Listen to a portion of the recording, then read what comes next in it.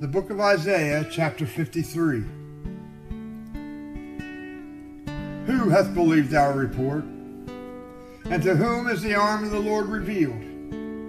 For he shall grow up before him as a tender plant, and as a root out of a dry ground.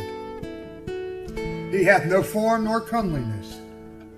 And when we shall see him, there is no beauty that we should desire him. He is despised and rejected of men, a man of sorrows, and acquainted with grief. And we hid it, as it were, our faces from him. He was despised, and we esteemed him not. Surely he hath borne our griefs and carried our sorrows. Yet we did esteem him stricken, smitten of God, and afflicted. But he was wounded for our transgressions, he was bruised for our iniquities. The chastisement of our peace was upon him, and with his stripes we are healed. All we like sheep have gone astray. We have turned everyone to his own way, and the Lord hath laid on him the iniquity of us all.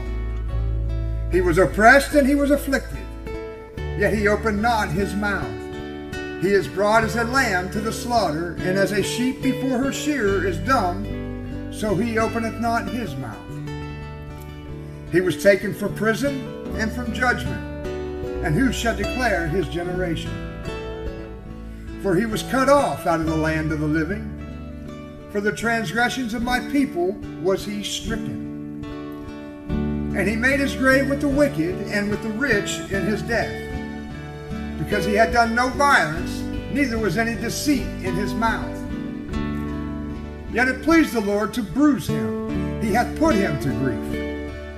Thou shalt make his soul an offering for sin, he shall see his seed, he shall prolong his days, and the pleasure of the Lord shall prosper in his hand. He shall see of the travail of his soul, and shall be satisfied. By his knowledge shall my righteous servant justify many, for he shall bear their iniquities. Therefore will I divide him a portion with the great, and he shall divide the spoil with the strong, because he hath poured out his soul unto death, and he was numbered with the transgressors. And he bare the sin of many, and made intercession for the transgressors.